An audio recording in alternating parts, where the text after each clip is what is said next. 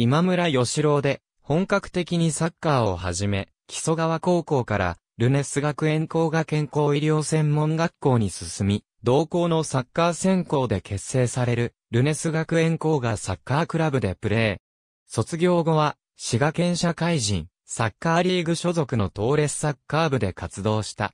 現役時代のポジションはディフェンダーで、滋賀県代表 DF として、大阪国体、神奈川国体と2度の国体に出場し、専門学校時代には、天皇杯にも出場した。2002年に、現役引退後は審判員の道を目指し、2004年12月に一級審判員に登録される。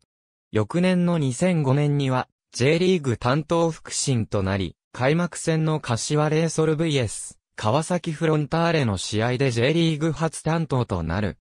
2006年には JFL の試合を担当し、2007年からは主に J2 を中心に主審を務めており、2010年からは J1 主審に昇格し、さらに活動の場を広げている。2011年秋には、日本サッカー協会の審判交流プログラムの一環として、山本正明と共にフットボールアソシエーションに派遣され、U-19 国際親善試合、U-19 イングランド代表対 U-19 デンマーク代表の主審を担当した。